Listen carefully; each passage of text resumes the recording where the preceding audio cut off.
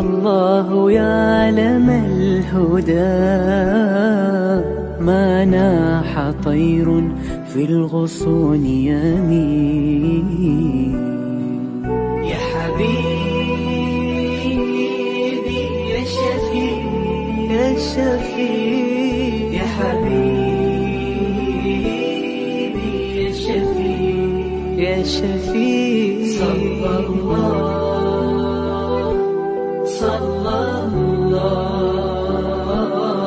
عليك يا حبيب الله.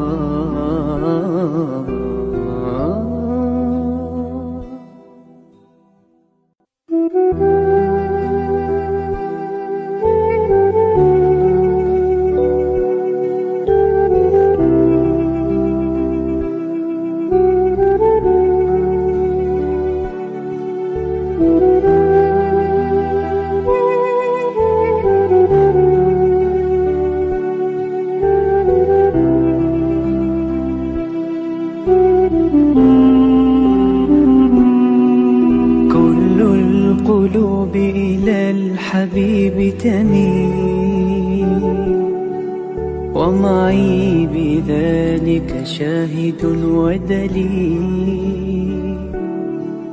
أما الدليل إذا ذكرت محمدا فترى دموع العاشقين تسيل. هذا رسول الله هذا المصطفى. هذا لرب العالمين خليل. صلى عليك الله يا علم الهدى. ما ناح طير في الغصون يمين. يا حبيبي يا شفيع يا شفيع.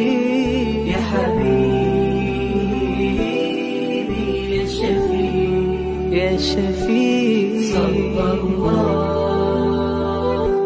صلى الله عليك يا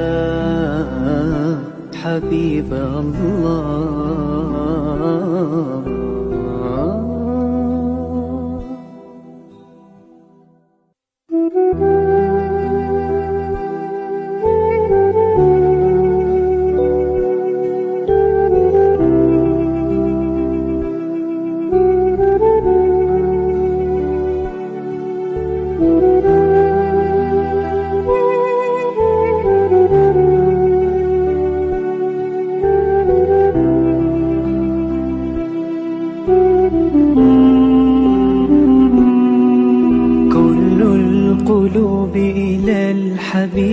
تميل ومعي بذلك شاهد ودليل. أما الدليل إذا ذكرت محمدا فترى العاشقين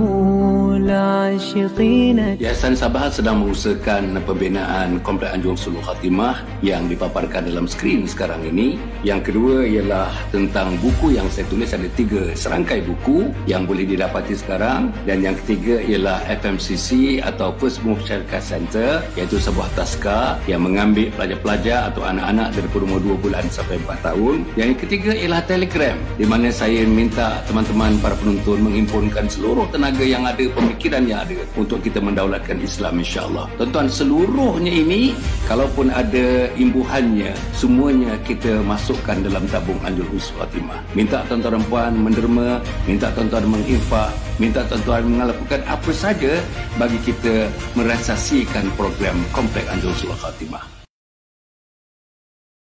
Assalamualaikum warahmatullahi wabarakatuh. Alhamdulillahirrabbilalamin. Wassalatu ashrafil anbiya wal mursalin.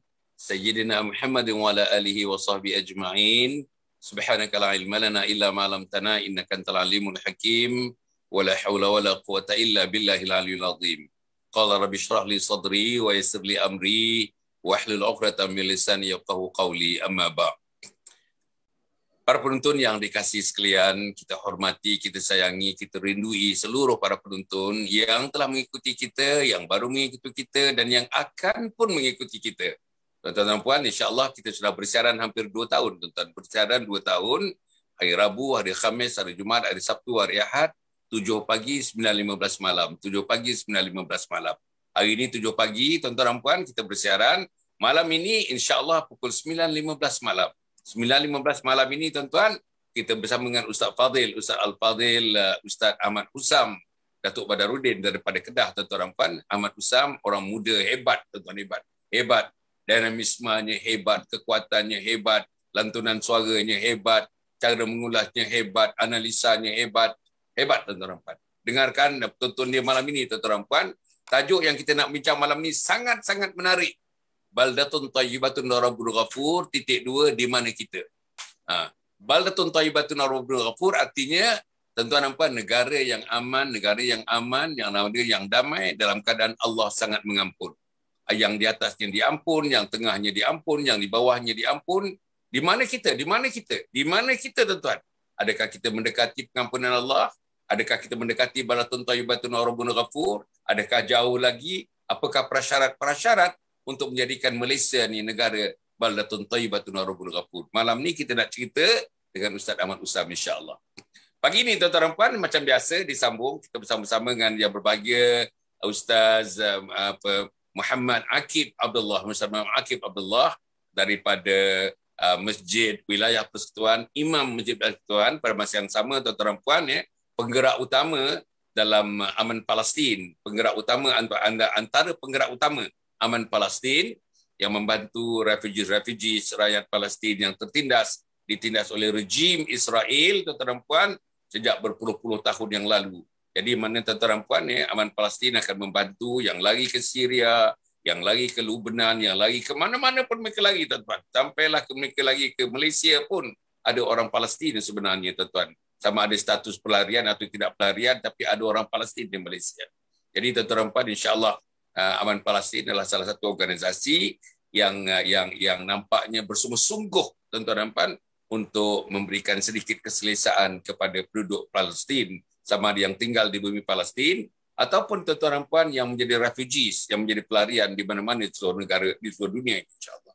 Okey, pagi ini um, dengan apa ni dengan Al-Fadhil Ustaz Muhammad Akif Abdullah tuan-tuan dan puan ya, kita nak bincang satu tajuk permulaan. Hari ini permulaan tajuk itu tuan-tuan. Apa dia? Permulaan tajuk itu ialah nama-nama Allah, Al-Asmaul Husna. Apa makna Al-Asmaul Husna? Kenapa Allah ada 99 nama?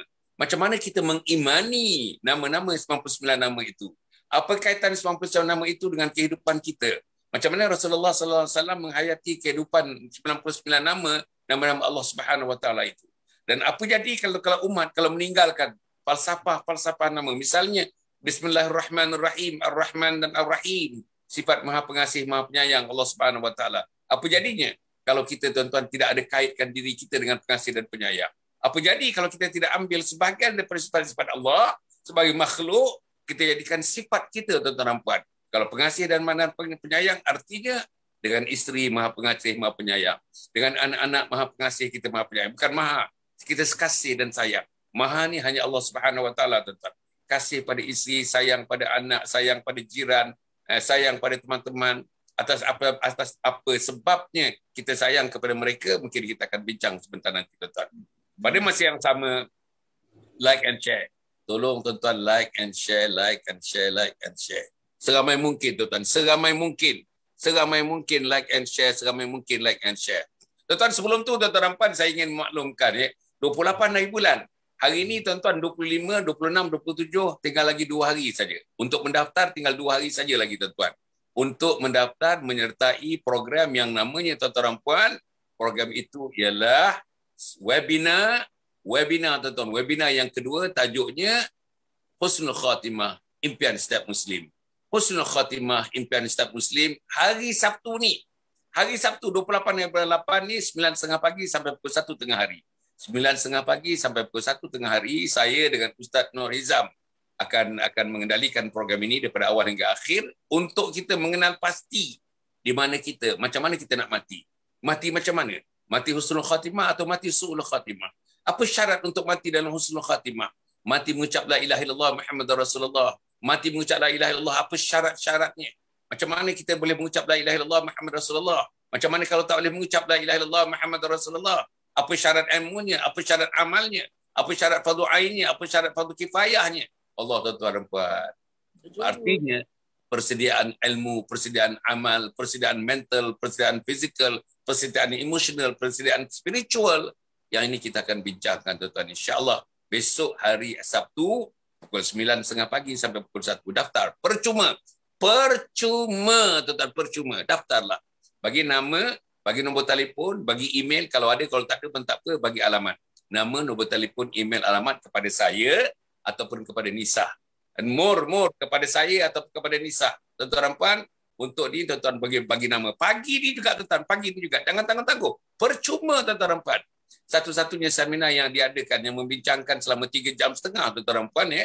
Macam mana kita nak mati dalam seluruh Fatimah.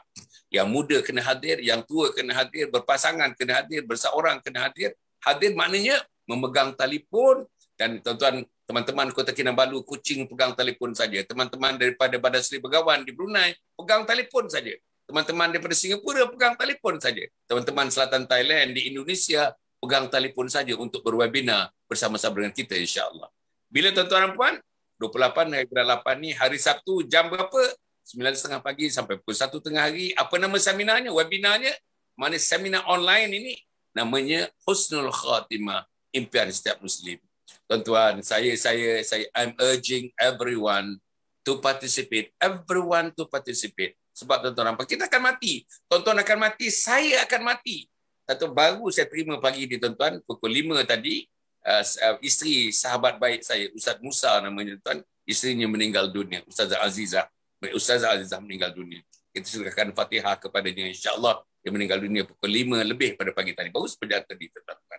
Jadi mudah-mudahan uh, Allah memberikan uh, kesabaran kepada sahabat saya Ustaz Musa dengan keluarganya, dengan pemberian isteri dan bagi anak-anak dengan pemberian ibunya yang disayangi. Pergi tuan-tuan COVID-19 ini insyaAllah.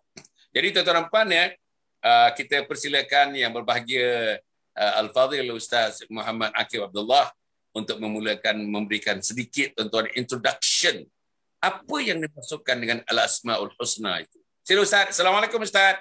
Waalaikumsalam warahmatullahi wabarakatuh. Alhamdulillah. Apa khabar Ustaz? Alhamdulillah. Syukur Ustaz masih, masih bercuti lagi ya? Masih lagi. Alhamdulillah. Ayolah, ayolah, ayolah, ayolah. Sampai Ustaz, sampai dah betul-betul lah Ustaz. Sampai dah betul-betul. Alhamdulillah. Uh, pejabat faham, ketua pejabat faham, kita pun faham Ustaz ya. Kita menjalani satu pembedahan yang agak besar, major operation, tuan-tuan ya bypass operation membetulkan injap dan sebagainya satu satu satu operation yang agak besar yang telah dialami oleh ustaz. Alhamdulillah dekat dua bulan dah tuan-tuan ya. Dan kita harapkan sesuatu yang baik berlaku kepada beliau dan sedang berlaku sekarang ni. Beliau dah kembali kepada normal tapi belum 100% lagi normal. Mungkin ada batu-batu kecil lagi tuan-tuan dan puan insyaallah. Ustaz kita pagi ini nak cerita tentang lebih kurang al-asmaul husna. Apa makna al-asmaul husna Kenapa kita nak bincang Al-Asma'ul Husna? Apa kaitan Al-Asma'ul Husna dalam kehidupan kita? Macam mana kehebatan Al-Asma'ul Husna ni? Uh, Ustaz, Ustaz mulakan Ustaz. Sila Ustaz. InsyaAllah. Assalamualaikum warahmatullahi wabarakatuh. Alhamdulillahi Rabbil Alamin. Wassalatu wassalamu ala Rasulil Amin wa ala alihi wa sahbihi ajma'in. Terima kasih kepada Datuk Hasan Ali kerana sudi untuk memanggil saya lagi untuk bersama-sama dengan tuan-tuan dalam kita nak mengupas ya, tentang Asma'ul Husna. Sebenarnya bila kita mengetahui Asma'ul Husna ini, seolah-olah kita nak menuju ke arah kejayaan dan kemuliaan. Ya, Ya, jadi tuan-tuan, kita kena berusaha untuk mendidik diri kita ini menjadi orang-orang yang sentiasa ada peningkatan. Ada peningkatan ilmu, ada peningkatan amalnya. Tuan-tuan. Jadi insya-Allah pada hari ini kita nak bincang tentang Asmaul Husna. Saya tertarik dengan bila sebut Asmaul Husna ini berdasarkan firman Allah Subhanahu wa taala dalam surah Al-A'raf ayat 180 Allah menyebut walillahil asmaul husna fad'u biha fad'uhu biha. Wadharul ladina yulhiduna fi asma'ihi sayujzauna ma kanu ya'malun yang bermaksud dan Allah mempunyai nama-nama yang baik mulia maka serulah maka berdoalah kepadanya dengan menyebut nama-nama itu Ha, pulaukanlah orang yang berpaling daripada kebenaran dari masa menggunakan nama-namanya. Mereka akan mendapat balasan mengenai apa yang mereka kerjakan. Surah Al-A'raf ayat 180. Jadi Allah Subhanahu wa taala menyatakan dalam Al-Quran bahawa bagi Allah itu ada nama-nama tertentu. Jadi tuan-tuan kita faham bahawa nama-nama Allah ini bukan satu. Dia ada 99 nama. Jadi tuan-tuan, apa gunanya nama ini? Bila mana kita nak berdoa, kita hendaklah menyebut. Hendaklah kita menadah tangan dengan menyebut nama-namanya. Ha, ya, sifat-sifat Allah subhanahu wa ta'ala. Ha, tuan-tuan. Jadi nama-nama itu tuan-tuan ya, merujuk kepada kekuasaannya. Merujuk kepada uh, kehaibatan Allah, keagungan Allah subhanahu wa ta'ala. Jadi tuan-tuan sayuria kita umat Islam, kita sentiasa Uh, menghadirkan diri kita ini. Allah itu mempunyai sifat-sifat keagungannya. Allah itu mempunyai sifat-sifat uh, kebaikannya yang seharusnya kita merujuk ketika mana kita berdoa kepada Allah Subhanahu wa taala. Jadi Syekh Al-Mutawali Sya'rawi dalam tafsirnya menyatakan tuan-tuan Allah mengingatkan kita supaya berdoa kepadanya menggunakan asmaul husna dia menginginkan makhluk sentiasa mengingatkannya. Jadi tuan-tuan kita kena faham bahawa Tuhan itu mempunyai sifat Ar-Rahman yang yang Maha Rahmat, Ar-Rahim yang Maha Kasih. Tuan-tuan, ya. Al-Malikul Quddus yang yang berkuasa, yang suci. Semua itu adalah sifat-sifat Allah.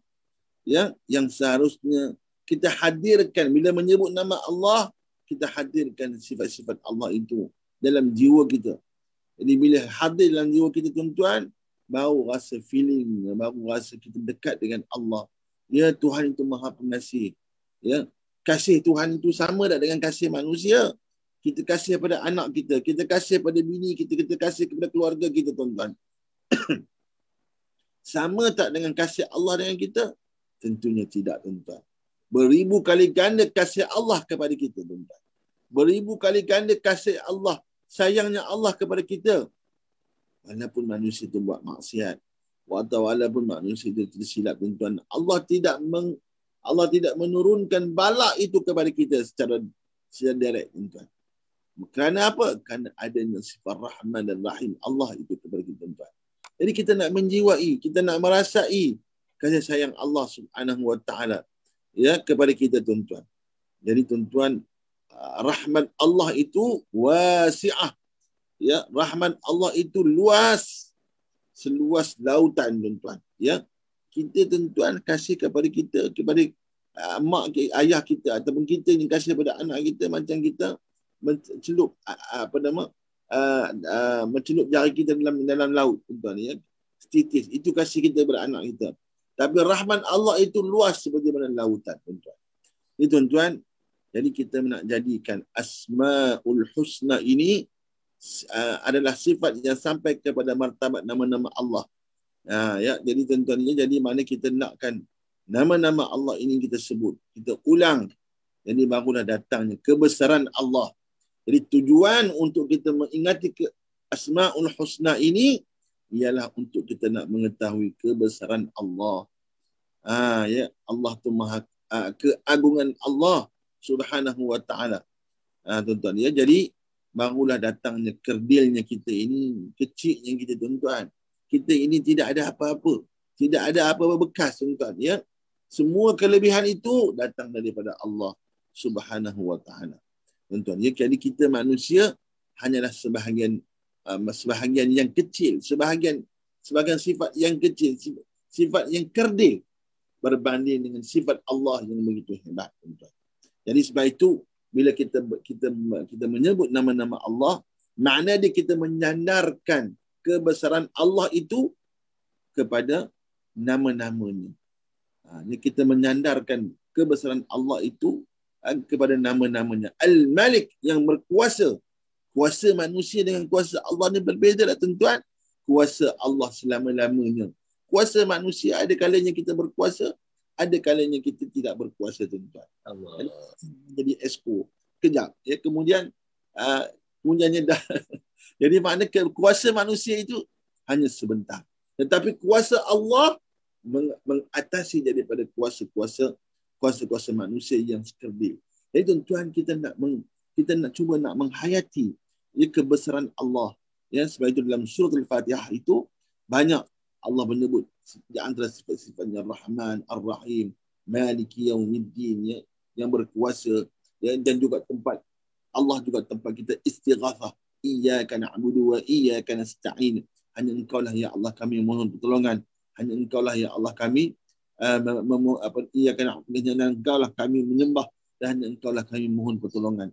Semua itu tuan-tuan adalah rong apa nama package yang akan membesarkan Allah yang akan memberikan ke, ke rasa ketajuban rasa takjubnya kita akan kebesaran Allah berbanding dengan kuasa manusia yang sedikit tuan jadi itu dia.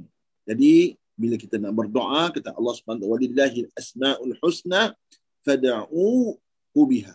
Ya bila dengan apa nama bagi Allah itu ada ada asmaul husna. Nama-nama yang baik. Maka sebutlah ketika mana kamu berdoa. Ha, sebutlah ketika kamu berdoa dan janganlah kamu menjadi orang-orang yang mulhid. Orang-orang yang apa mulhid ni mana orang yang etis ya yang tidak percaya Tuhan. Kerana mereka ini akan dibalas oleh Allah Subhanahu wa taala dengan apa nama dengan etisnya dengan dengan tidak percayanya mereka kepada Allah Subhanahu wa taala. Sebagai manusia yang normal, dia akan nak bersandarkan kepada Allah. Kita nak bersandarkan kepada kebesaran Allah. Kita nak bersandarkan kepada keagungan Allah. Ini manusia yang normal. Ya, sebab manusia ini dia sentiasa nakkan kepada suatu kuasa yang besar. Ini adalah sifat semula jadi fitrah manusia. Ya, orang India dia pergi tengok tokong dia ya.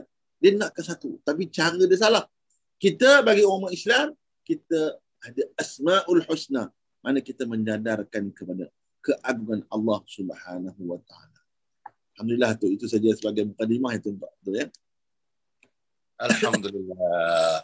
Ustaz masya-Allah masya-Allah. Artinya para penonton yang hormat sekalian, al asmaul husna ini tuan-tuan adalah merupakan sifat-sifat Allah Subhanahu wa taala yang terkandung di dalamnya tuan-tuan dan puan seluruh sifat-sifat maha M-A-H-A, Maha, Maha, Maha, Maha. Maha Agung ialah Allah, Maha Mulia ialah Allah, Maha Pengampun ialah Allah, Maha Pemaaf ialah Allah, Maha Pemberi ialah Allah, Maha Penerima ialah Allah, Maha Mendengar ialah Allah, Maha Melihat ialah Allah. Semuanya Maha, Maha, Maha. Kalau gunakan perkataan Maha, Ustaz, yang saya faham ya, maknanya tidak ada tidak ada pembandingan.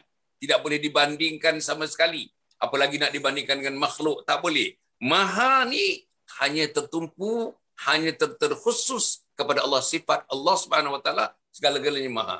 Maha mendengar, Maha melihat, Maha pengasih, Maha penyayang, Ar-Rahman, Ar-Rahim. Itu sifat-sifat Allah. Dan di sebelumnya tuan-tuan kalau tengok translationnya Maha pengasih, Maha penyayang, Maha penerima ampun, pengampunan. Semuanya sifat-sifat Allah Subhanahu Wa Taala. Tuan-tuan dan puan, sebagaimana Ustaz katakan tadi, kata kita beramal dengan sifat-sifat ini, tuan-tuan puan, insya-Allah eh, ulama-ulama telah pun menyusunkan sifat-sifat ini satu persatu, tuan-tuan, dan dilakukan, dinasyidkan, tuan-tuan puan, eh. Tuan-tuan bayangkan nasyid bila dinasyidkan, ramai-ramai tuan-tuan dinasyidkan, semangat tuan-tuan puan. Uh, saya melihat ada askar-askar, eh, askar-askar daripada negara Islam, tuan-tuan dan puan, misalnya menasyidkan ini, dalam perjuangan yang menasjidkan ramai-ramai sebelum pergi berperang, sebelum bersiap dalam peperangan, melakukan asma'ul husna, naik bulu roma, tuan-tuan. Naik bulu roma, tuan-tuan. Sebab kehebatan Allah Subhanahu Wa Taala tu menaikkan bulu roma insan. Hati insan tuan-tuan terketuk dengan dengan kalimat kebesaran Allah Subhanahu Wa Taala. Tuan-tuan hati-hati insan tuan-tuan nampak nampaknya terserlah diserlahkan dengan kebesaran Allah Subhanahu Wa Taala. Itulah motivasi kita kalau cerita dalam Islam motivasi tuan-tuan nama-nama Allah itu tak ada lagi lah tak perlu ditambah lagi tak perlu dikurangi itulah tuan-tuan motivasi tiap-tiap satunya ulaslah macam mana Al-Halim misalnya sifat lembut Allah, sifat kasih Allah, sayang Allah dalam Al-Halim. Al-Halimu, tuan-tuan dan puan. Macam mana sifat itu? Apa sifat itu ada pada kita? Ada sifat itu tidak ada pada kita. Kalau tidak ada, kena ada sifat itu. Sekarang ni dalam bulan Muharram, tahun 1443 Hijriah ini, mestilah kita ambil sifat-sifat Allah Subhanahu Wa Taala tu dan makhlukkan sifat itu tuan-tuan puan untuk kita menjunjung sifat itu dalam kita membangunkan diri kita, membangunkan keluarga kita, membangunkan jiran tetangga kita, masyarakat kita dan akhirnya membangunkan negara dan umat Muhammad sallallahu alaihi wasallam. Ustaz, uh, pagi ini kita kita konsentrate kepada bismillahirrahmanirrahim. Dengan nama Allah yang Maha Pengasih lagi Maha Penyayang. Dua perkara Ustaz. Ar-Rahman dan Ar-Rahim. Bismillah. Ustaz dah sebut tadi bismillahirrahmanirrahim dengan nama Allah yang Maha Pengasih Maha Penyayang. Okey, dua kalimat ni dua perkataan ni Ar-Rahman Ar-Rahim. Dan satu hari berapa kali kita baca Ustaz? Nak naik kenderaan Bismillahirrahmanirrahim. Nak makan Bismillahirrahmanirrahim. Ini kan tuan-tuan nak bercampur dengan isteri pun Bismillahirrahmanirrahim. Ustaz macam mana tuan-tuan Ustaz? Sifat Allah tergambar dalam Bismillahirrahmanirrahim. Sila Ustaz jadi alhamdulillah kita bersyukur kepada Allah Subhanahu wa taala di antara nikmat yang besarnya kita ini ialah kita berada di atas jalan agama Islam. Ya. Jadi nikmat yang besar tuan-tuan. Ya, sebab itu kita kena akui dan kita kena perhatikan tuan-tuan ya bahawa ini nikmat yang nikmat kaya, nikmat ada kereta, nikmat ada rumah itu tak besar. Nikmat yang paling besarnya ialah kita berada di atas jalan iman dan Islam tuan-tuan. Ya tuan-tuan, sebab itu umat Islam ni di antara rahman Allahnya Allah berinya solat. Solat itu pula ada Al-Fatihah. Ya. Al-Fatihah itu apa tuan-tuan? Al-Fatihah itu adalah saya nak sebut apa tuan-tuan dia adalah kontrol. Ya. Al-Fatihah itu kalau kita faham tuan-tuan, dia mengkontrol seluruh kehidupan umat. Seluruh kehidupan manusia tuan-tuan. Ha, sebab itu bila Datuk sebut ya, apakah makna ataupun apa kata bersirannya tentang Bismillahirrahmanirrahim. Ya, dengan nama Allah. Dengan nama Allah ya, yang amat pemurah lagi amat pengasihan. Ya, jadi tuan-tuan, ini sifat Allah. Sebab itu, bila kita sebut dengan nama Allah itu, makna dia segala perbuatan yang kita lakukan. Ya, sebab itu dia sebut Bismillahirrahmanirrahim itu tuan ya. Didatangkan dengan ayat yang agak tergantung. Dengan nama Allah. Apa dengan nama Allah itu? Ya, jadi tuan-tuan, segala amalan, segala perbuatan, segala gerak kerja kita mulalah dengan nama Allah. Mulalah dengan nama Allah. Dan manusia tidak mampu untuk berdiri dengan sendirinya. Mampu untuk nak menyelesaikan segala masalah kecuali dengan nama Allah. Dengan pertolongan Allah. Dengan kekuasaan Allah. Betul kita sebut. Dengan nama Allah. Apa dengan nama Allah itu? Kita nak menyandarkan segala ke- kekuatan yang yang sedikitnya Allah beri kepada kita ini dengan kekuatan kekuasaan Allah Subhanahu wa taala. Dengan nama Allah yang amat pemurah lagi amat mengasihani. Sifat Allah yang mempunyai sifat rahmannya. Sifat rahmannya tuan-tuan iaitu yang amat pemurah. Pemurahnya Allah bagi semua. Tak kira Islam tak Islam dia bagi tuan-tuan. Ar-Rahim Allah pilih kepada mereka yang beriman. Ini rahmat Allah tuan-tuan ya. Saya pernah sebut dalam minggu lepas tuan-tuan ya tentang cerita tentang sifat rah rahmat tuan-tuan. Ya rahmat Allah tuan-tuan. Kadang-kadang kita tuan-tuan terlupa untuk untuk bercerita ataupun untuk untuk untuk mengejar rahmat Allah. Ya jadi tuan-tuan kita kena kejar rahmat Allah ini. Kena kena apa nama kena sentiasa uh, berusaha untuk mengambil apa mencari rahmat Allah dalam kehidupan kita. Jadi kena dalam agenda kehidupan kita tuan-tuan kena berfikir bagaimana untuk mencari rahmat Allah. Ha, di samping yang uh, rahmat ni tentu apa makna rahmat? Rahmat Allah. Rahmat ni lawan pada balak. Ha, ya, balak. Ya. Kita ni kadang-kadang tak habis-habis Tuhan uji. Ya, tak habis-habis Tuhan uji. Satu persatu. Ya. Jadi sebab apa? Sebab kita jarang berfikir macam mana nak mendapat, nak mendapat rahmat Allah. Ini rahmat Allah itu datang daripada sifat Rahim, Ar-Rahman Ar-Rahim. Ya, tuan-tuan, jadi rahmat Allah ini kita kena agendakan, tuan-tuan ya. Jadi tuan-tuan macam mana tuan-tuan? Kadang-kadang tuan-tuan yang kita ni bukan benda susah pun tuan-tuan ya. Kita kena ambil cari rahmat Allah melalui sedekah kita.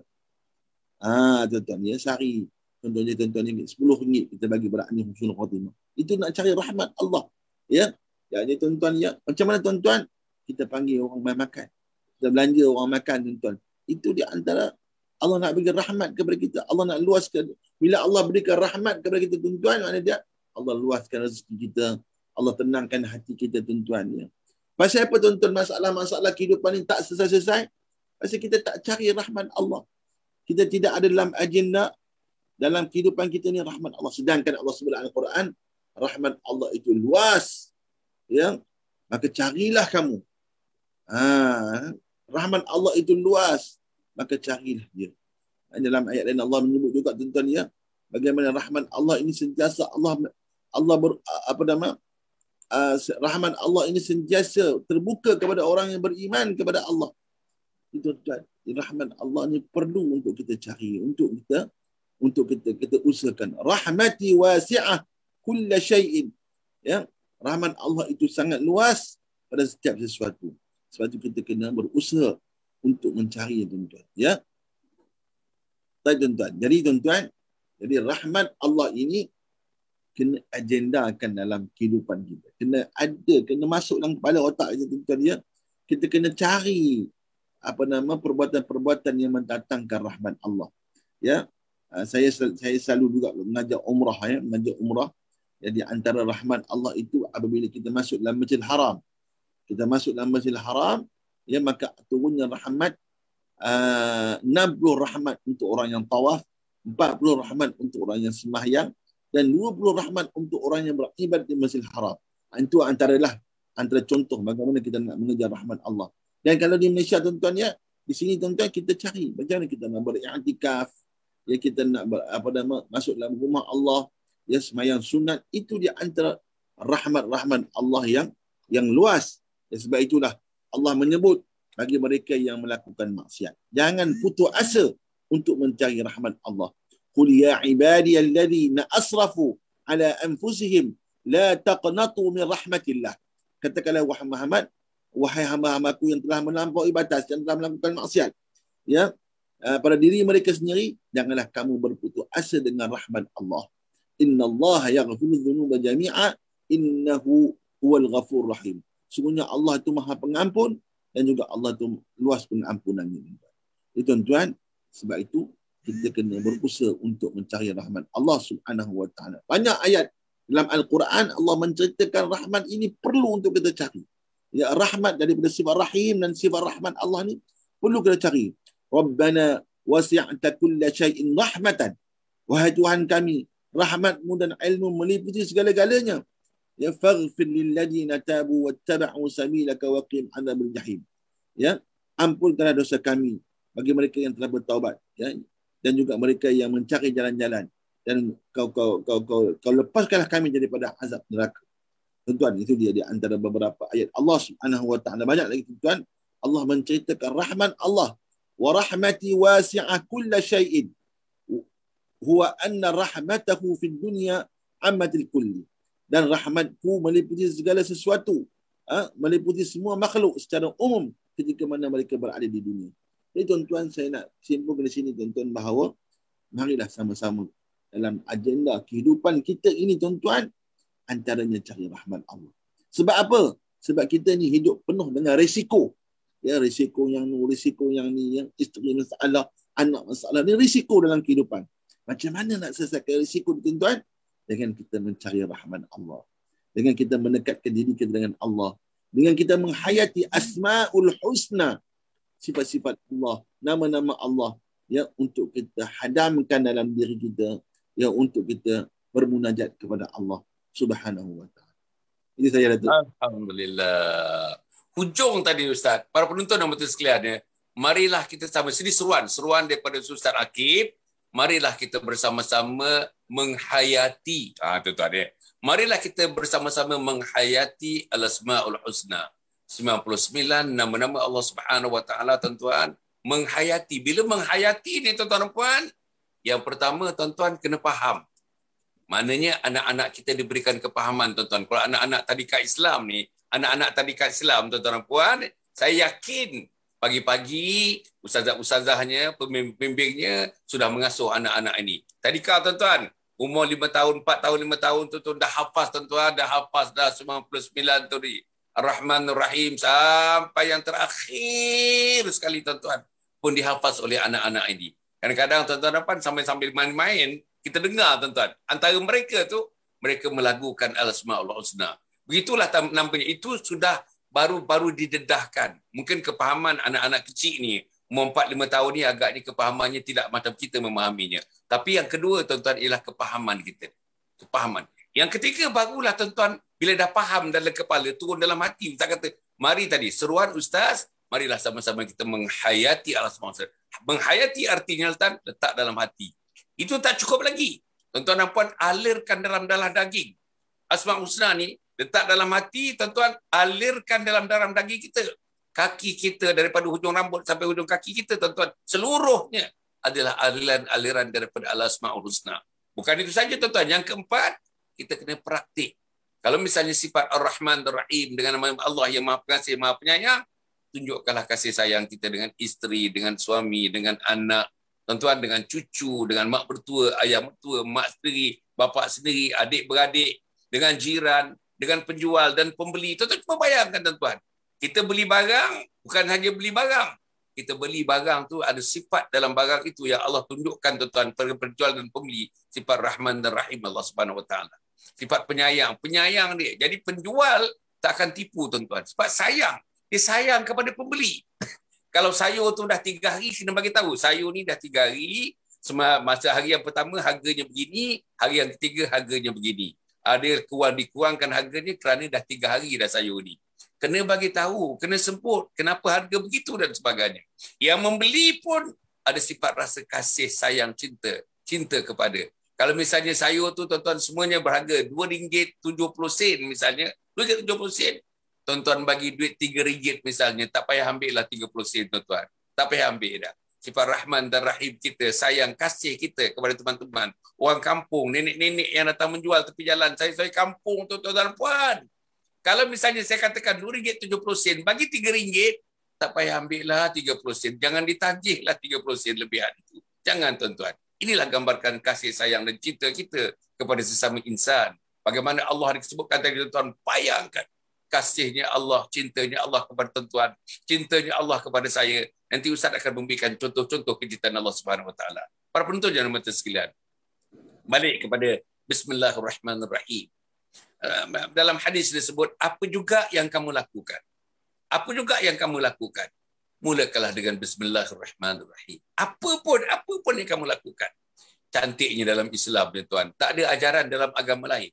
Hanya dalam agama Islam saja Nabi menyarankan supaya apa juga yang nak dilakukan, terutama yang ada unsur kebaikan yang kita nak lakukan itu, pastikan ia dilakukan dengan terlebih dahulu mengucapkan Bismillahirrahmanirrahim.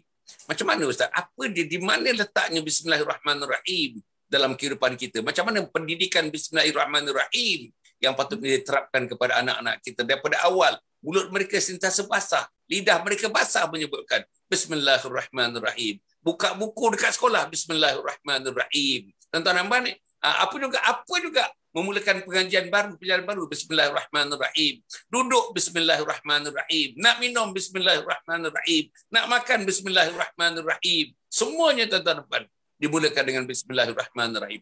Nak keluar daripada rumah bismillahirrahmanirrahim. Tuan-tuan dan puan ya. naik kereta. Kita nak start enjin tu. Bismillahirrahmanirrahim. Macam mana ustaz kita nak kata-kata orang membudayakan dalam hidup ini. Jangan tinggal perkataan Bismillahirrahmanirrahim. Macam mana Ustaz? Jadi Alhamdulillah kita melihat bagaimanakah uh, akhlak yang kita bercita-cita untuk uh, hiaskan dalam diri kita. Iaitu mereka yang ada ma'iyatullah. Ma'iyatullah ni makna apa? Orang yang bersama dengan Tuhan. Ha, tuan-tuan ya. Ma'iyatullah ya. Jadi tuan-tuan sebagai seorang muslim kita kena ada satu sifat nama dia ma'iyatullah. Kita hendakkan kita ini bersama dengan Allah. Kita tahu tuan-tuan ya kita ni sifat kerdil. Sifat kita sifat yang manusia ni ada sifat kekurangannya. Sebab itu kita berhajat untuk bergantung dengan Allah. Antaranya dengan menyebut nama Allah tuan-tuan. Antaranya menyebut kebesaran Allah. Antaranya menyebut asmaul husna. Ya. Sebab itu tuan-tuan perlunya kita. Sebab itu Bismillahirrahmanirrahim dengan nama Allah ya kita sentiasa kita kena sebut ya. Setiap perbuatan setiap kelakuan setiap apa tuan-tuan ya, setiap pengucapan kita sebutlah Bismillahirrahmanirrahim. Ya sebab apa tuan-tuan? Sebab manusia ini saya sebut tadi tuan-tuan ya bahawanya dia tak tak mampu tak mampu untuk diri dia. Jadi dia berkehendaklah bergantung kepada Allah menyandarkan dirinya kepada Allah. Menyandarkan dirinya kepada kebesaran Allah keagungan Allah. Ya? Ha, sebab itu pentingnya rahmat Allah dalam diri kita tuan-tuan. Ya? Jadi kita mulakanlah segala perbuatan kita percakapan kita apa amalan kita dengan bismillah dengan nama Allah. Saya suka untuk berkongsi dengan tuan-tuan ya ketika saya duduk di Arab dulu. Orang Arab ni dia dia dah budaya dia dah. Ya sikit-sikit doa. Sikit-sikit nama Allah. Ya sikit-sikit dia dia memang budayanya. Contoh dia kita nak kereta. Ya saya nak kereta tiba-tiba dia tengok orang accident. Ha, dia, automatic dia sebut ya satar ya wahai Tuhan yang melindungi kami. Ha, ya satar ya jadi bila kita apa-apa saja yang respon. Dia nak masuk lift tuan-tuan nak masuk lift kita masuk lift masuk, masuk gitu tuan-tuan. Dia masuk dia assalamualaikum. Masuk lift tuan-tuan. Ya naik bas naik bas naik bas tuan-tuan. Ya assalamualaikum. Ha, jadi tuan-tuan ini pengucapan pengucapan doa yang dia buat tuan-tuan. Sentiasa. Ini ini perangai Arab yang baiklah tuan-tuan ya. Ada juga perangai Arab yang tak baik. Perangai Arab yang baiknya dia sentiasa mengingati Allah. Sentiasa mengucap kata saya yang bila naik bas tuan-tuan kita naik bas naiklah kau kan dia naik assalamualaikum dia satu bas tu dengar jadi tuan-tuan jadi kalau orang jawab, mana dia? Orang mendoakan dia, tuan-tuan. Jadi tuan-tuan, jadi saya suka untuk untuk kita kita ambil apa nama apa nama cara attitude ataupun kelakuan itu tuan-tuan ya. Jadi tuan-tuan kita kena usahalah. Ya, didik dia kita ini sentiasa bergantung kepada Allah. Ya, dengan automatik dia buatlah apa? Bismillahirrahmanirrahim. Ya, buat apa pun ingat nama Allah. Ingat nama Asmaul Husna. Ya Sattar, Ya Hafiz, ya. Tuhan yang memelihara ya Tuhan yang telah jadi tuan-tuan dengan sendiri dia kita telah menggamit rahmat Allah Subhanahu wa taala. Kita menggamit pertolongan Allah Subhanahu wa taala.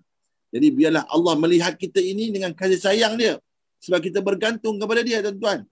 Jangan kita bergantung pada dia ketika susah tersepit baru nak bergantung. Tidak tuan-tuan. Ya, tetapi kita sentiasa mengingati Allah, sentiasa menggamit rahmat Allah. Ha, ini tuan-tuan yang saya kira tuan-tuan ya. Jadi dalam banyak-banyak kita nak berhadapan dengan risiko-risiko kehidupan, ya kita kita ber, ber, apa, menyandarkan diri kepada Allah Subhanahu Wa Taala. Yang tu sebut dia nak masuk kereta ya Bismillahirrahmanirrahim. Nas tak ini dah Bismillah. Sebab apa tuan-tuan? Sebab kita tak tahu dalam perjalanan tu tuan-tuan, ya banyak risiko. Mengantuk sekejap ya, bang belaga tuan-tuan. Ya, mengantuk sekejap, oh masuk langgau. Ah tuan-tuan ya. sebab dan cerita tu saya pernah juga bawa kereta mengantuk tidur masuk dalam gaung. cerita tuan-tuan sebab kita tidak bergantung kepada Allah. Sebab itu tuan-tuan perlu sangat perlu sangat tuan-tuan untuk kita bergantung kepada Allah. Untuk kita apa nama menyandarkan diri kita ini pada kekuasaan Allah. Sebab diri kita ini kadang tak mampu. Ya, itu nama dia manusia. Al-insan. Insan itu tuan-tuan, nisyan orang yang lupa, orang yang lalai, ya. Ya, ya, ya. Jadi sebab itu perlunya kita ini hanya bergantung kepada Allah Subhanahu Wa Taala. Tuan-tuan, ya saya mengajak tuan-tuan ya. Sebab itu marilah sama-sama kita mendekatkan diri kita dengan Allah melalui ibadat, melalui zikir, ya, melalui doa kita, ya, ibadat kita, solat duha kita, solat tahajud kita tuan-tuan ya. Semua ini untuk apa tuan-tuan? Untuk kehidupan kita juga. Benefit dia untuk kita juga tuan-tuan ya. Doa kita tuan-tuan. Ya, dengan doa kita kita berdoa. Sebab kita tahu kita tak mampu untuk menyelesaikan semua masalah. Jadi kita kita berdoa kepada Allah. Melalui zikir kita, kita mengingati Allah. Kita kita apa nama kita kita menyandarkan segala kekuasaan itu hanya kepada Allah Subhanahu wa taala. Termasuklah dengan kita menyebut Asmaul Husna. Sebab apa tuan-tuan nak sebut Asmaul Husna tu? Sebab nama-nama Asmaul Husna adalah nama-nama yang agung. Tuhan yang memberi rezeki, Tuhan yang berkuasa, Tuhan yang mempunyai kekuasaan yang hebat. Jadi tuan-tuan, kita ni tak hebat. Kita ni kita ni kerdil. Bila sebut nama Tuhan, mana kita kena pantulkan balik pada diri kita. Oh, aku ni tak hebat. Ya, Tuhan yang maha mengingat kita ni kurang lupa. Asyik-asyik lupa tuan-tuan. Ya, asyik-asyik lalai tuan-tuan ya. Sebab itu kita kena bergantung kepada sifat Tuhan yang maha agung. Mudah-mudahan Allah memberikan kekuatan itu kepada kita. Allah memberikan kekuatan itu kepada kita untuk kita istiqamah di atas jalan iman, di atas jalan Islam insya-Allah. Ya, Uh, para penonton dan mati sekalian, uh, saya ingin mengingatkan beberapa perkara lagi tuan-tuan. Mengingatkan tuan-tuan, mengingatkan para penonton dengan penuh kasih sayang ni kita nak ingatkan. Yang pertama tuan-tuan 28 hari bulan. Hari Sabtu ni tuan-tuan. 28 hari bulan hari Sabtu. Hari ni 25, 26, 27.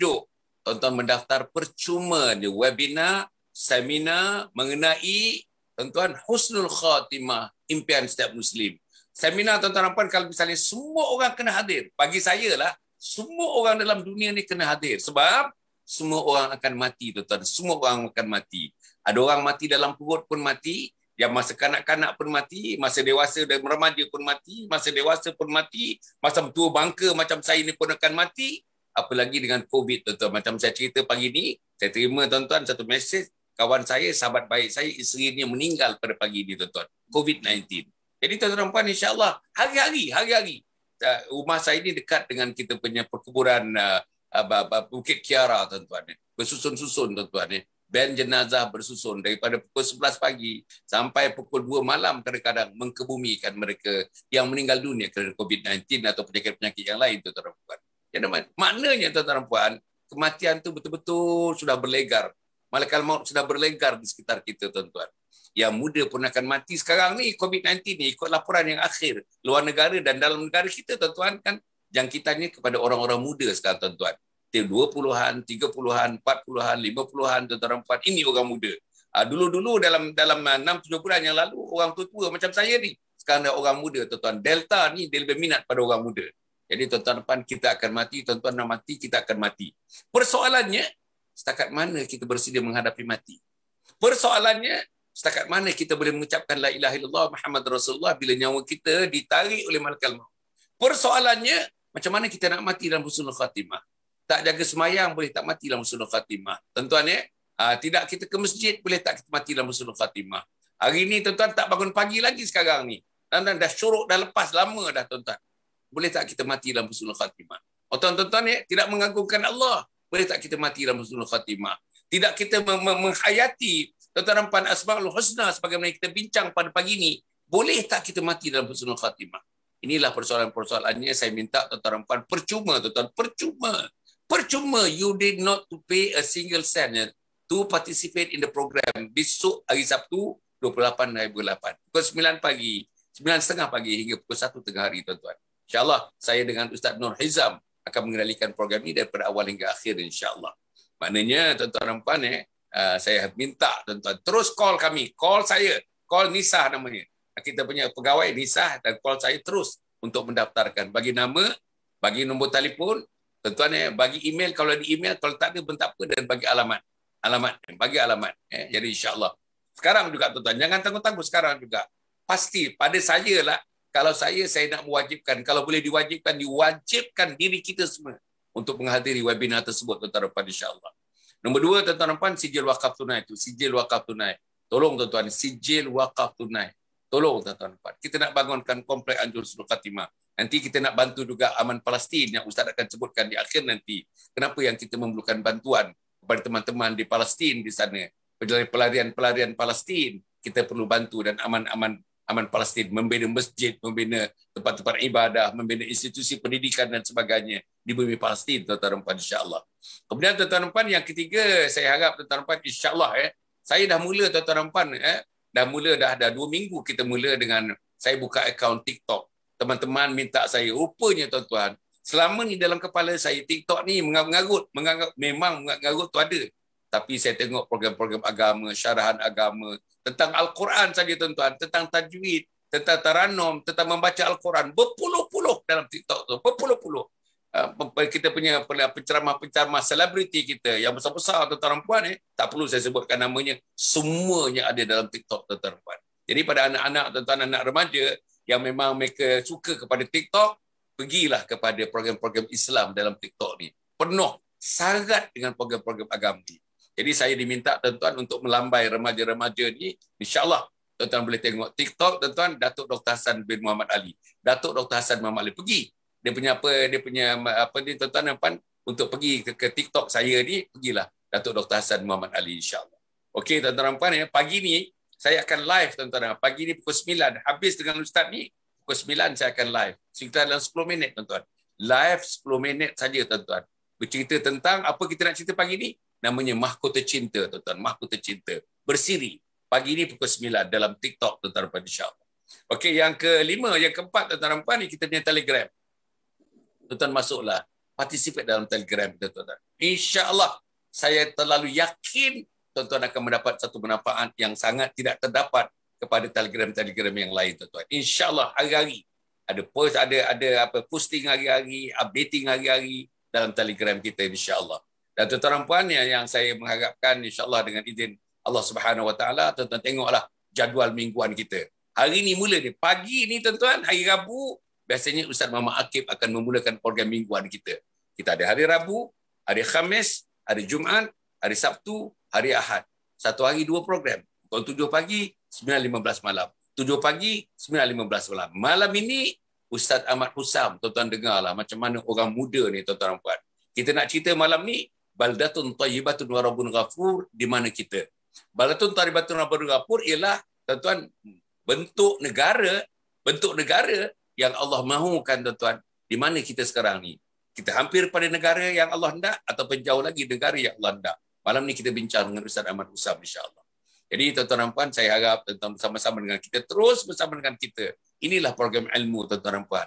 Anak-anak kita, kita minta tuan-tuan. Sekarang ni belum pergi sekolah lagi anak kita tuan-tuan. Yang universiti belum lagi, kan cuti sekarang ni universiti. Tuan-tuan dan puan, pergilah, tengoklah, peganglah telefon, dengarlah tuan-tuan.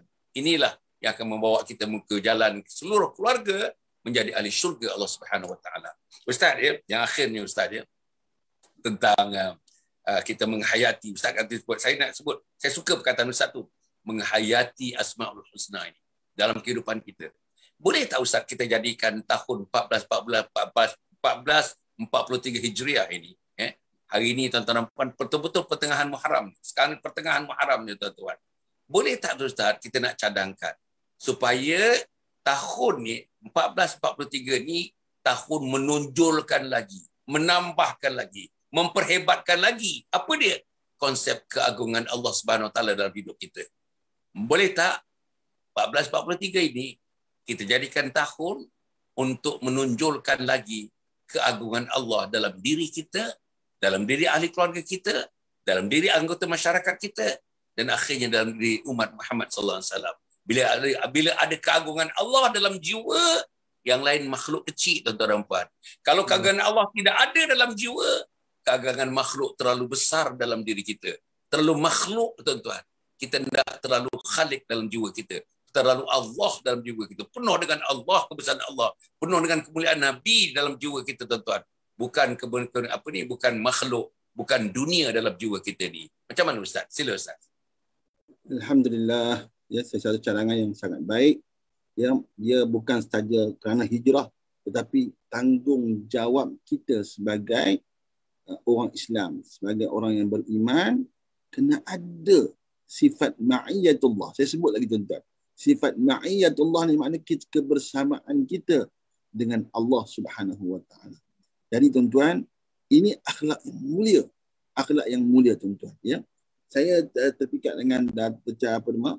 Datuk-datuk tentang kematian, COVID, seumpamanya. Jadi dalam Asma'ul Husna ini ada zikirnya. Kalau siapa-siapa yang boleh untuk kita sama-sama kita beramal ya jadi kalau orang yang kena covid ya sebab dia serang paru-paru maka sebutlah ar-razzaq Ar-Razak, Ya Razak, Ya Razak. Ya, Tuhan yang mengundangkan rezeki.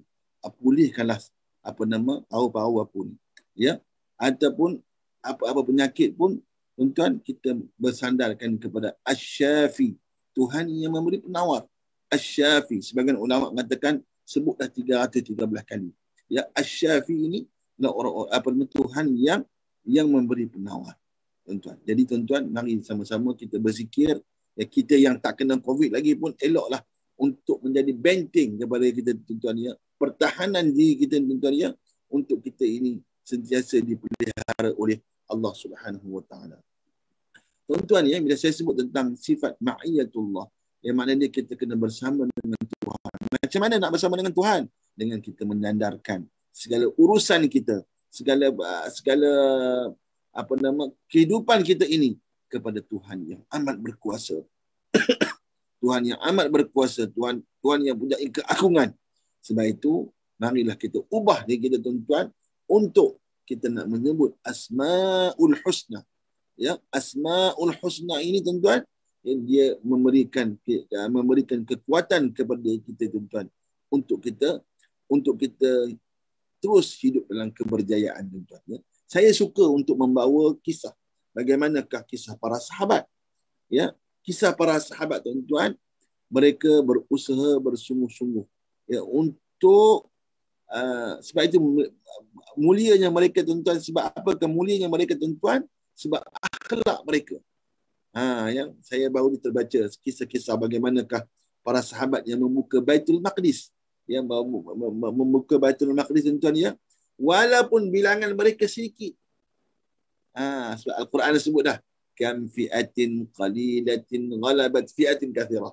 Berapa ramaikah golongan yang sikit ini dapat mengalahkan golongan yang ramai. Rupa-rupanya ayat ini adalah sunnah. Sunan. Ya. Uh, kaedah yang Tuhan tunjukkan. Ya.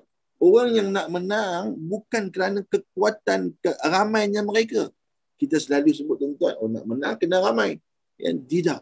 Itu bukan apa pengiraannya ya itu bukan apa timbangannya timbangannya ialah mereka yang mempunyai akhlak ini sunan sunnah sunnah kepada alam ini ialah kalau kita nak menang kita kena ada akhlak tuan-tuan akhlak yang baik akhlak yang bersandarkan kepada Allah akhlak yang bersandarkan kepada asmaul husna. insya-Allah Tuhan akan berikan kemenangan. Itu tuan begitu juga dalam kehidupan kita pada hari ini. Kalau kita nak reduce segala risiko dalam kehidupan kita nak nak reduce segala masalah-masalah yang datang banyak yang tak yang tak habis-habis kenalah kita ini bergantung kepada Allah Subhanahu wa taala. Ya tuan-tuan ya sebab mereka yang dah berjaya siapa? Iaitu para sahabat. Mereka yang telah berjaya siapa iaitu para nabi-nabi mereka juga telah pun mem- telah telah mempunyai akhlak yang sama akhlak yang sama bergantung hanya kepada Allah ia menyandarkan diri mereka hanya kepada Allah Ha, ini disebut ma'iyatullah. Kebersamaan mereka dengan Allah subhanahu wa ta'ala. Ini tuan-tuan. Jadi marilah kita mengambil contoh sunnah yang dibuat oleh pada mereka yang telah berjaya tuan-tuan. Sebab itu kita baca surat Al-Fatihah. Ihdinas siratal mustaqim. Siratal ladhina an'amta alaihim. Jalan yang mereka yang Allah bagi nikmat. Siapa dia? Nabi. Mereka yang pada wali Allah. Para sahabat, para tabi'in yang mereka mempunyai akhlak yang mulia. Tengok Salahuddin Al-Ayubi menang menakluk Baitul Maqdis bukan kerana ramai. Dan tentera dia sedikit tuan-tuan. Ya, berbanding dengan tentera Rom yang lebih ratus ribu. Ya, tapi Salahuddin boleh menang bukan kerana bukan kerana bilangan tetapi kerana ketakwaan kerana kebersamaan mereka dengan Allah Subhanahu wa taala. Begitu juga Nuruddin Az-Zinki ya berjaya melawan Rom bukan kerana ramainya mereka tetapi kerana akhlak yang ada pada mereka tuan-tuan.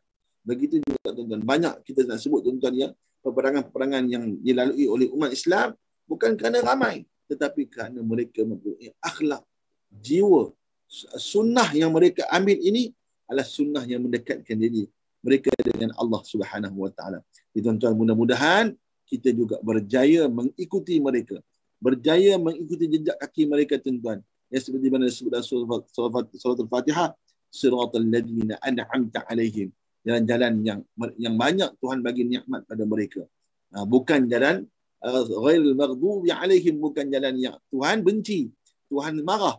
Siapa dia? Antaranya adalah Kristian dan Yahudi. Jangan ikut jalan mereka ini. Bahkan ikutlah jalan para nabi, jalan para salafus soleh. Ya, antara keistimewaan mereka ialah mereka dekat dengan Allah. Mereka sentiasa uh, menjadikan diri mereka ini bergantung hanya kepada Allah. Ya, mereka beramal dengan asmaul husna. Mereka beramal dengan asmaul husna, tuan-tuan. Dan jangan lupa tuan-tuan ya, uh, carilah rahmat Allah melalui rahmat ya dengan kita menderma, dengan kita memberi infak tuan-tuan ya. Ini yang antara kita menggamit rahmat Allah Subhanahu wa taala. Tuan-tuan, saya menyeru sekali lagi tuan-tuan ya, marilah sama-sama kita berwakaf, sama-sama kita menjadikan harta kita untuk mendapat rahmat Allah. Jangan jadikan harta kita ini untuk mendapat bala Allah. Ha, jangan jangan jadikan harta kita ini kita lo apa nama kita berfoya-foya sehingga mencari bala Allah tetapi kita gunakanlah harta yang susah susah kita cari tuan ya untuk Allah menggamit rahmat Allah dan juga menyelamatkan kita di mana di hari akhir nanti tuan-tuan. Jadi tuan-tuan saya menjauh ya di akhir tuan-tuan ya mudah-mudahan mudah-mudahan ya kita mengambil sedikit sebagian harta kita buatlah derma secara istiqamah buatlah derma secara istiqamah ya semula RM10, semula RM50 tuan-tuan ya. RM50 pun tak rugi tuan-tuan. Kita pergi ke apa nama NSK tuan-tuan ya habis RM100 lebih tuan-tuan ya. Ambillah sebulan sekali tuan-tuan RM50 ataupun RM100 untuk kita masuk dalam tabung uh, Anjung Husnul Khatimah. Kita masuklah dalam tabung wakaf Anjung Husnul Khatimah tuan-tuan. Mudah-mudahan itulah yang akan menjadikan jalan penyelamat kita. Itulah di antara di antara pergantungan kita Eh, eh, kepada Allah Subhanahu wa taala. Wallahu a'lam. Alhamdulillah. Para penonton, eh, sikit Ustaz, sikit tentu tentang uh, aman Palestin sikit Ustaz. Ustaz tentu aman Palestin sikit. Sikit Ustaz. Ya. Palestin kita pada hari ini tuan-tuan saya nak mengajak tuan-tuan untuk uh, membiayai anak-anak yatim ya anak-anak yatim yang berada di Gaza ya sebahagian anak-anak yatim ni mak ayah dia dah syahid jadi tuan-tuan kita membiayai mereka ya jadi automatik ni kita bersama dengan keluarga mereka jadi mudah-mudahan ya kata Rasulullah orang yang mati syahid dia boleh tarik orang orang lain ahli keluarga dia ya seramai 70 orang untuk masuk syurga jadi tuan-tuan saya mengajak ya mudah-mudahan kita mendapat syafaat bagi mereka yang telah mati syahid tuan-tuan jadi saya nak ajak tuan-tuan yang untuk sama-sama membiayai anak-anak yatim yang berada di Gaza, yang berada di Syria, yang berada di Lebanon, yang mudah-mudahan kita juga tergolong dalam golongan orang-orang yang uh, membiayai mereka yang apa nama orang-orang yang berada di bawah tanggungan orang-orang yang mati syahid tuan-tuan. Jadi saya mengajak tuan-tuan yang marilah sama-sama kita membiayai mereka hanya RM180 sebulan ya untuk uh, anak yatim dan juga keluarga ya RM100 untuk keluarga uh, para syuhada tuan-tuan. Insya-Allah itu saya tutup. Alhamdulillah. Para penonton, mari kita sama-sama tuan-tuan dan puan. Dua cabangnya. Yang pertama Aman Palestin, yang kedua tuan-tuan, kita nak membangunkan kompleks Anjung Husul Khatimah yang berharga antara 15 ke 20 juta ringgit. Kita nak kumpulkan dananya tuan-tuan dan puan, insya-Allah sedang dalam proses nak dibangunkan sekarang ni. Tuan-tuan dan puan, ya, oleh kerana pejabat tutup dan sebagainya oleh COVID ni, kita dah terkebelakang dua bulan setengah tuan-tuan, dua bulan setengah untuk mendapatkan kebenaran perancang. Apapun dah ada 15 orang tuan-tuan ahli-ahli profesional yang bersama dengan kita kita ada planner kita kita ada arkitek kita kita ada engineer kita ah, kita ada geotech yang spesialis kita kita ada semua sekali tuan-tuan empat dan sudah siap pun untuk dihantar kepada majlis bandar raya Shah Alam untuk mendapatkan kebenaran untuk kita merancang dan sebagainya. Ah, tanahnya sudah diwakafkan tuan-tuan tanah milik peribadi saya ah, bernilai 2.5 juta ringgit itu telah pun siap diwakafkan Nama dalam geran sekarang, nama Hasan Ali sudah dipotong dalam geran. Nama sekarang ialah Majlis Agama Islam Selangor sebagai pemegang amanah wakaf tanah yang saya wakafkan untuk dibangunkan komplek Anjung Suluh Khatimah ini insyaAllah. Jadi tuan-tuan puan ya, mari. Macam mana dananya? Wakaf, zakat, infak, sadaqah, fidyah, amal jariah dan fisabilillah. Bantulah tuan-tuan. Tuan-tuan bantu zaman Palestin. Bantu juga kami di komplek Anjung Suluh Khatimah. Satu-satu dalam dunia. Saya nak bagi tahu tuan-tuan, kalau komplek ini terbangun dalam masa dua tahun setengah daripada sekarang ini, satu-satunya dalam dunia. Satu-satunya di Amerika, satu-satunya tuan tak ada di Amerika, tak ada di Asia. Satu-satunya di Malaysia dalam dunia ini yang menawarkan khidmat betul-betul pendidikan tuan-tuan yang ada unsur teori dan praktikal sekali untuk kita bersedia menghadapi Allah, bersedia menghadapi malaikat maut, bersedia menghadapi maut tuan-tuan dan insya-Allah. Kita macam mana pun kena bersedia. Kalau tuan-tuan bersedia untuk berniaga, tuan-tuan bersedia untuk berladang, tuan-tuan bersedia untuk bercucuk tanam, tuan-tuan bersedia untuk meladangkan memusang king dan sebagainya, sudah tentulah aktiviti kita terlalu banyak. Macam mana persediaan untuk kita hidup di satu alam. Bukan alam dunia, alam akhirat namanya. Sudahkah kita rancangkan? Sudahkah ada ilmunya? Sudahkah ada perancangannya? Sudahkah ada projeknya? Inilah tuan-tuan yang perlu kita fikirkan sekarang insyaAllah. Jadi bantulah. Bersama-sama bantulah tuan-tuan. Sijil wakaf. Sijil wakaf tunai, sijil wakaf tunai. RM10 ada. RM50 ada. RM100 ada tuan-tuan dan puan. Tuan-tuan bagi masukkan dalam akaun kita akan bagikan sijil itu kepada tuan-tuan dan puan insya-Allah tuan-tuan. Jadi saya harap macam Ustaz kata tadi, kita lebih kalau boleh tuan-tuan bantu kita RM50 ke RM100 ke RM500 sebulan tuan-tuan. Bulanan, potongan bulanan terus kepada akaun nombor akaun yang ada tuan-tuan dan puan. Tuan-tuan potong terus insya-Allah kita keluarkan resip. Kalau wakaf wakaf, kalau zakat zakat, kalau misalnya impak kita impak, kita keluarkan resip kepada tuan-tuan dan puan. Kepada mereka yang yang yang wakafnya agak besar, dia dapat tuan apa, pengecualian daripada cukai pendapatan dan sebagainya insyaallah. Kemudian tuan-tuan jangan lupa 28 hari bulan hari ini 25, 26, 27. Dua hari saja untuk mendaftar. Apa dia? Seminar atau webinar online. Cerita apa? Mati dalam husnul khatimah. Cerita mati dalam husnul khatimah. Tuan-tuan, saya tak tahulah nak mengatakan saya dah nak pujuk tuan-tuan ke nak bagi yakinkan tuan-tuan hadirlah dengan isteri, dengan suami, dengan anak, dengan adik, dengan abang, dengan kakak, dengan jiran, dengan sahabat-sahabat beramai-ramai tuan-tuan. Free, percuma tuan-tuan, percuma. Tiga jam setengah tuan-tuan, percuma tuan-tuan. Hasan Ali bersama dengan Nur Hizam, Ustaz Nur Hizam yang berbagi Ustaz Nur Hizam akan mengendalikan program daripada awal hingga akhir. Bila tuan-tuan dah kendalikan program ini, dah ikut program ini besok 28 hari bulan hari Sabtu, 9.30 sampai pukul 1. Yang pertama, tuan-tuan faham jelas kita nak mati dah ni tuan-tuan. Tuan-tuan faham jelas persediaan untuk mati. Tuan-tuan faham jelas persediaan ilmu untuk mati. Tuan-tuan faham jelas apa amalan-amalan yang mesti dibuat daripada bangun tidur sampai tidur semula tuan-tuan sebelum kita mati. Macam mana Al-Quran dengan kematian? Macam mana salat dengan kematian? Macam mana mendidik isteri dan anak-anak dengan kematian? Macam mana menjaga harta kita untuk kematian? Harta untuk kematian. Pangkat untuk kematian. Kedudukan untuk kematian. Tuan-tuan, kesihatan untuk kematian. Tuan-tuan, macam mana konsep itu tuan-tuan? Namanya konsep means and ends dalam hidup ni. Apa dia means, apa dia ends, apa dia matlamat, mana apa dia alat dalam kehidupan kita tuan-tuan. Berdaftarlah. I am urging everyone to participate in this program tuan-tuan. 28 bulan 8 pukul 9.30 pagi sampai pukul 1 tengah hari percuma daftar sekarang tuan-tuan, daftar sekarang. Kita boleh ambil 500 orang saja. Lebih 500 tak boleh ambil. Yang mendaftar saja yang dapat menonton. Yang tidak mendaftar tidak dapat menonton. Walaupun percuma tuan-tuan, insya-Allah. Kemudian yang ketiga yang saya nak sebutkan tuan-tuan dan puan insya-Allah jadual kita. Tuan-tuan dapatkan jadual. Dalam Telegram ada, dalam dalam dalam Facebook ada, dalam Instagram ada, dalam Twitter ada kita punya jadual mingguan. Dapatkan jadual, ikut tuan-tuan. Tuan-tuan ambil jadual itu, tuan-tuan tuan-tuan apa ni? Uh, sharekan dengan anak-anak jadual kami tuan-tuan. Jadual yang dibuat oleh Yayasan Sabahan.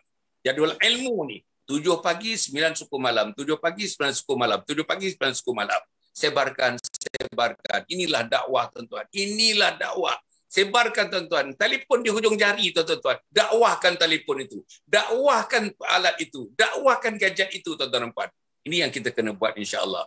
1443 Hijriah ini, segala-galanya didakwahkan rumah kita sebagai alat dakwah, masjid kita alat dakwah, TV kita alat dakwah, gadget kita alat dakwah. Hatta is dan tuan-tuan kita punya badan kita, jasad kita ini adalah untuk dakwah Allah Subhanahu wa taala, mendakwahkan agama Allah Subhanahu wa taala.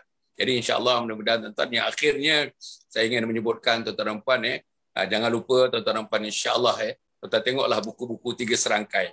Buku tiga serangkai tuan-tuan. Saya tulis buku tu untuk tuan-tuan tuan-tuan. Saya tulis buku tu untuk tuan-tuan.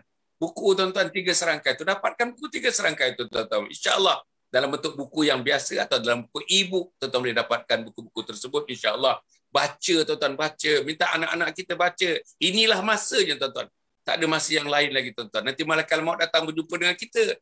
Ilmu Islam tak ada, ilmu agama tak ada, ilmu semayang tak ada, ilmu fardu ain tak ada, ilmu fardu kifayah tidak ada. macam mana kita nak bertemu dengan Allah Subhanahu Wa Taala. Saya minta maaf tuan-tuan. Saya bukan mengatakan negatif sangat tuan-tuan. Tidak, tidak. Sama sekali tidak. Tapi saya hendak diri saya, anak-anak saya, cucu-cucu saya menjadi insan-insan yang disayangi, dikasihi. Dan tuan-tuan, diberkati oleh Allah Subhanahu Wa Taala. Inilah kita benda tuan-tuan insya-Allah. Jadi um, tuan-tuan ya, saya jangan jangan lupa tuan-tuan TikTok. Saya diminta oleh sahabat-sahabat dah pun buka akaun TikTok. Datuk Dr. Hassan Muhammad Ali. Datuk Dr. Hassan Muhammad Ali. You go to Datuk Dr. Hassan Muhammad Ali TikTok. Selama ni tuan-tuan orang kata TikTok tu mengarut. Betul tuan-tuan ada yang mengarut. Tapi jangan pergi. Jangan scroll yang mengarut tu.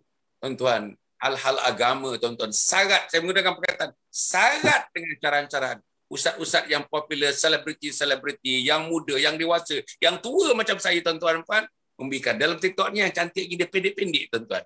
Macam saya tuan-tuan nanti pukul 9. Pukul 9 tuan-tuan pergi TikTok Datuk Dr. Hassan Muhammad Ali. Tuan-tuan saya cerita tentang mahkota cinta.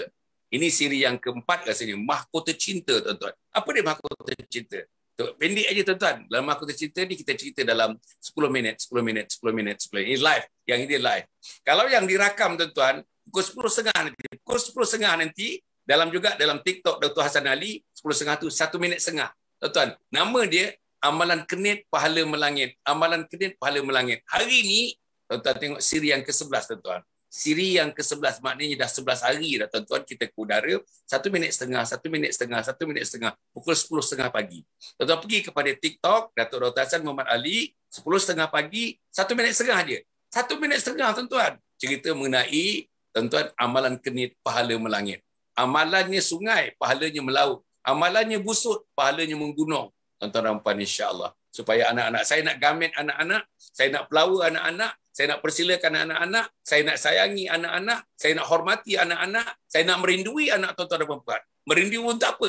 Untuk sama-sama kita rindu Allah Subhanahu Wa Taala, rindu Nabi Muhammad sallallahu alaihi wasallam, rindu jihad, tuan-tuan membangunkan agama Allah Subhanahu Wa Taala. Itulah tujuan saya, tuan-tuan dan puan insya-Allah. Tuan-tuan pergilah TikTok eh, tuan-tuan insya-Allah ya. Malam tuan-tuan malam dalam pukul 10.30 malam tuan-tuan, pukul 10. Pukul 10.30 malam pun eh, saya bersiaran. Yang itu kita cerita banyak tentang mendidik anak-anak, kesilapan mendidik anak-anak. Ada 40 kesilapan mendidik anak-anak, buku yang pernah saya tulis tahun 2008 tuan-tuan. Saya tengok balik, saya buka balik nak bentangkan kepada tuan-tuan, satu hari satu siri, satu hari satu siri. 5 minit, 10 minit, 5 minit, 10 minit, 5 minit, 10 minit. 40 kesilapan mendidik anak. 40 kesilapan mendidik anak. Itu pukul 10.30 malam. 10.30 malam live, tuan-tuan. InsyaAllah. Jadi cukup sekali itu, tuan-tuan dan puan. Mudah-mudahan ada baik kepada saya. Terima kasih kepada Ustaz Muhammad Akib. Ah, tuan-tuan, dermalah tuan-tuan. Ustaz Muhammad Akib dari Imam ah, Masjid Wilayah Pustuan. Alhamdulillah. Dan pada masa yang sama, orang di barisan hadapan dalam aman Palestin yang tidak jemu-jemu membantu teman-teman di Palestin, pelarian-pelarian Palestin dan sebagainya. Bantulah tuan-tuan insyaAllah. Kita jumpa lagi tuan-tuan minggu depan. Malam ini jangan lupa. Malam ni Ustaz Ahmad Husam. Malam ni Ustaz Ahmad Apa tajuk kita? baldatun tayyibatun wa rabbun ghafur titik dua di mana kita sekarang ini. Di mana kita? Di mana kita tuan-tuan puan? Insyaallah. Satu tajuk yang saya rasa tuan-tuan dengar lah malam ni tuan-tuan ikutlah malam ni. Saya yakin it is very interesting tuan. Very interesting tajuk yang kita bincang pada malam ini 9.15 malam. 9.15 malam. Cukup setakat itu aku lakukan lihada wa astaghfirullahaladzim li walakum walisairil muslimin wal muslimat. Innahu huwal ghafurur rahim. Wassalamualaikum ورحمة الله وبركاته. Yayasan Sabah sedang mengusahakan pembinaan Komplek Anjung Suluh Khatimah yang dipaparkan dalam skrin sekarang ini. Yang kedua ialah tentang buku yang saya tulis ada tiga serangkai buku yang boleh didapati sekarang dan yang ketiga ialah FMCC atau First Move Childcare Center iaitu sebuah taska yang mengambil pelajar-pelajar atau anak-anak dari umur 2 bulan sampai 4 tahun. Yang ketiga ialah Telegram di mana saya minta teman-teman para penonton menghimpunkan seluruh tenaga yang ada, pemikiran yang ada untuk kita mendapatkan mendaulatkan Islam insyaAllah. Tuan-tuan, seluruhnya ini, kalaupun ada imbuhannya, semuanya kita masukkan dalam tabung Anjul Husn Fatimah. Minta tuan-tuan dan puan menderma, minta tuan-tuan menginfak, minta tuan-tuan melakukan apa saja bagi kita merasasikan program Komplek Anjul Husn Fatimah.